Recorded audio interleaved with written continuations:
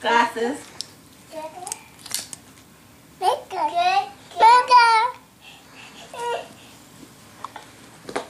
Daddy to go get your sunglasses out of the car?